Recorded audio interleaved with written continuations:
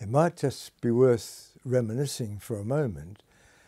When I left Melbourne in August of 1948, there were in England 11 universities. That's a carefully designed phrase. It's England, not the United Kingdom, so it excludes Scotland.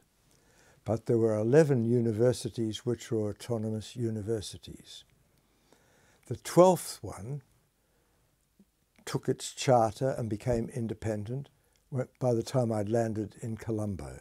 And the 12th one was Nottingham, which before had been the Nottingham University College, and a distinguished university college, but it was part of the University of London.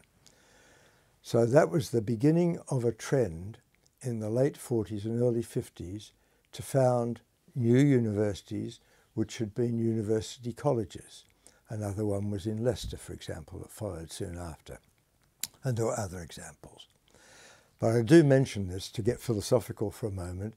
Uh, now, uh, there aren't 12 universities in England, there are 124, and more, of course, in Scotland, Wales, and Northern Ireland. Uh, it is sometimes fashion fashionable, I should say. It is sometimes fashionable to decry new universities, but I don't do that. I think that universities are an important concept. The more of them you have, of course, the more their nature changes. So one is not saying that there are 124 Cambridges or Oxfords or indeed any other sort of university. The new universities have to find their own way. Some will be successful, others will be less successful.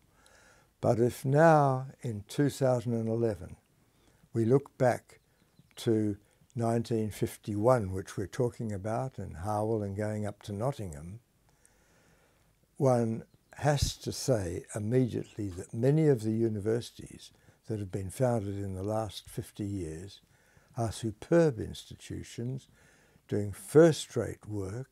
They are real universities, some of the best in the world, but some people chose to decry them when they were first formed.